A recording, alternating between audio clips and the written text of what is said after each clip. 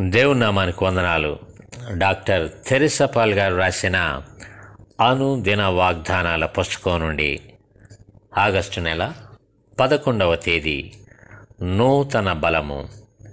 యహోవా కొరకు ఎదురుచూచువారు నూతన బలము పొందుదురు.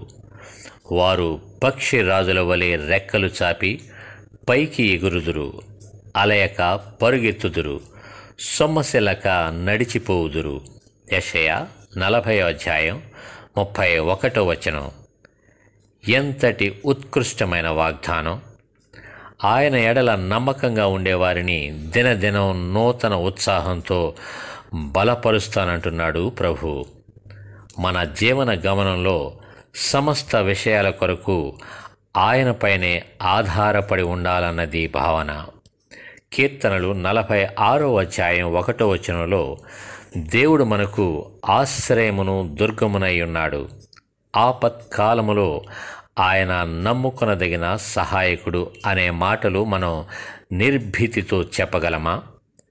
యువత అయినా వృద్ధులైనా మనం శరీరధారులమై ఉన్నంతకాలం కొన్ని సందర్భాలలో బలహీనులమై నిస్పృహకు గురి అవుతాము. ఇటువంటి సమయాల్లోనే ప్రభు మనకు నా బిడ్డలారా నా కృప మీకు చాలును. బలహీనత యందు నా శక్తి సంపూర్ణమగుచున్నది అని రెండవ కొరింతి పన్నెండవ అధ్యాయం తొమ్మిదవ వచనంలో వాదార్పునిస్తూ ఉన్నాడు. దేవుని వాక్కు మనకు చెప్పేదేమంటే మనము ప్రభు వల్ల బలపడిన రీతిగా ఒకరినొకరం బలపరుచుకోవాలి. నీకు నాకు ప్రభువు వల్ల కలిగిన ప్రతి మేలును తోటివారితో పంచుకోవాలి. ఇది ఇతరులకు మనం చూపే మాదిరి. ఏ మానవుడు చూపలేని కృపా బాహుళ్యాన్ని ప్రభు మన ఎడల కనబరుస్తూ ఉన్నాడు.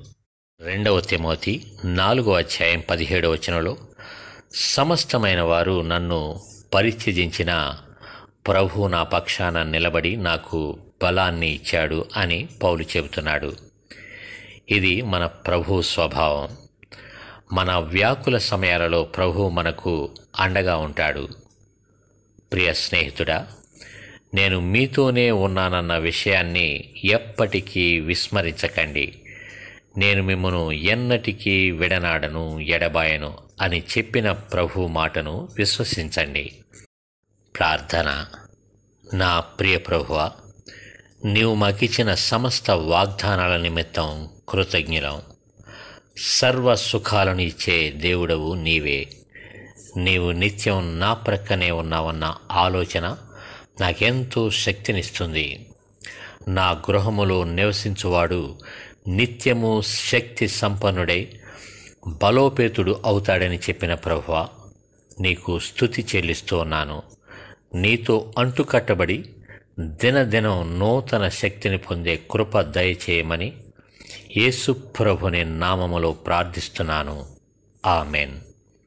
ఈ దిన వాక్యం యహోవా నాకు వెలుగును రక్షణయునై ఉన్నాడు. నేను ఎవరికి భయపడుదును? యహోవా నా ప్రాణ దుర్గము ఎవరికి వెరతును? కీర్తనలు ఇరవై ఏడవ అధ్యాయం ఒకటవ వచనం. దేవుడు మిమ్మను దీవించునుగాక. ఆమెన్.